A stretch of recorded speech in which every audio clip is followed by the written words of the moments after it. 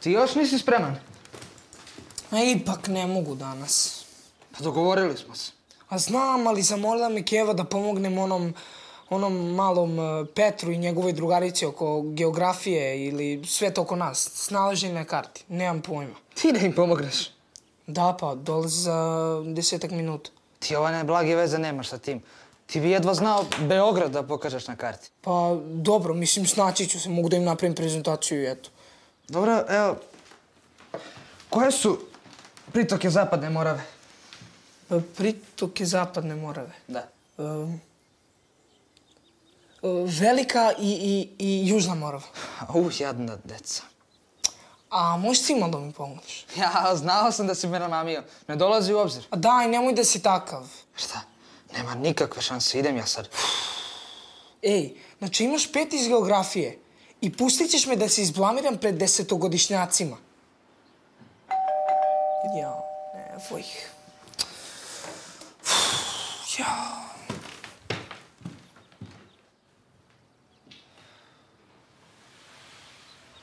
Evo nas. Zdravo. Ćao. Hvala ti što nam pomažeš.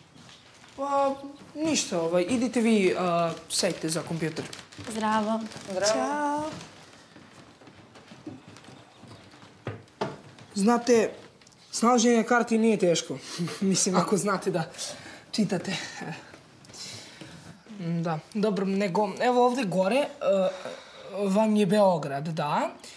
Uh, jer vidite, da? Moramo na karti da nađemo najznačajnija geografska obeležja Srbije. Prošli put učiteljica je zadala da nađemo gde izvira Zapadna Morava i koje su joj pritoke. A, meni se stalno mešaju te reke jezera. Ne znam kako to sve da pohvatim. Uh, pa da, evo ovde, pomagaj. Uh, nego da, ovaj, ovde gore, nego samo ne vidim. Uh, da, da, da, zbunio se ja. Evo ovde, ovde, ovde dole. To se zove uh, sk, sk, skrapež, da, skrapež. I sad samo to prepišete u prezentaciju. Ovaj, ajde pišite. Znaš šta? Zanimljivo je ovo, osjećaj još malo. Šta hoćeš od mene? Ne mogu decu da zainteresujem za bilo šta. Roboti dolaze. I roboti će zavladati svetom.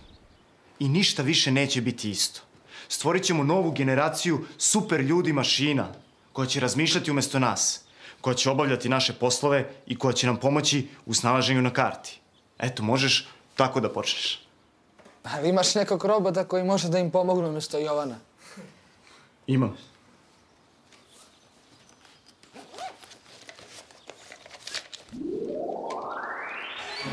Izvoli. Šta je ovo? Robot pčelica.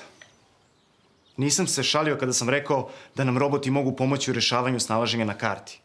A postoji način da se informatika i programiranje primene na učenje nekih novih stvari, pa i u snalaženju na karti, baš uz pomoć ovog robota pčelice.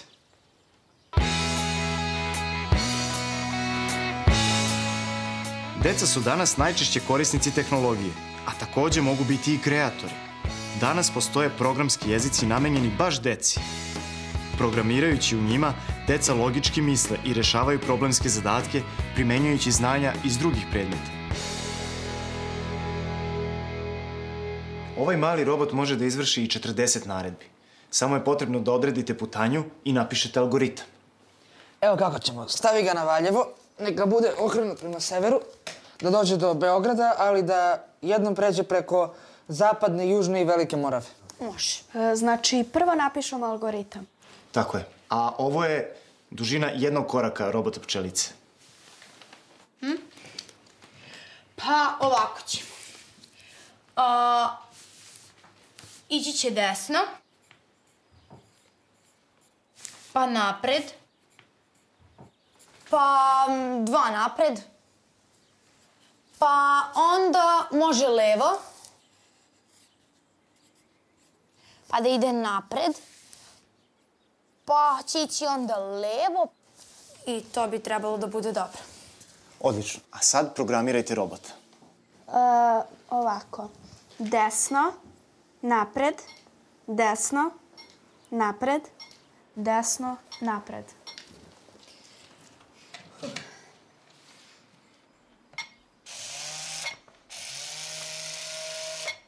Izgleda da smo se izvukli. Strava. Vidi ga kako se kreće, baš kako smo mu mi zadali. Vidi. Kako je dobro. Ajde, ajde. Ajde to. Ajde, još malo. Ide na pravu putanju. Ajde još malo. To, to, to, to, to, to, to, to. Ajde, ajde, ajde. Još malo, hajde. Bravo. Kako je dobro.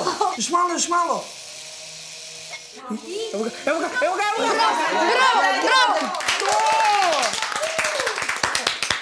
Kako dobro. Mogu tvoj kompjuter da uzmem i napravim prezentaciju i pokažem ostatku odeljenja? Naravno, naravno, evo.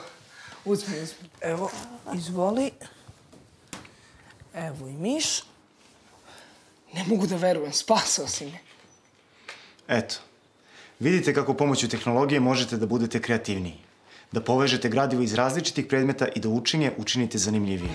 A na kraju sve to da podelite sa svojim drugarima iz odeljenja.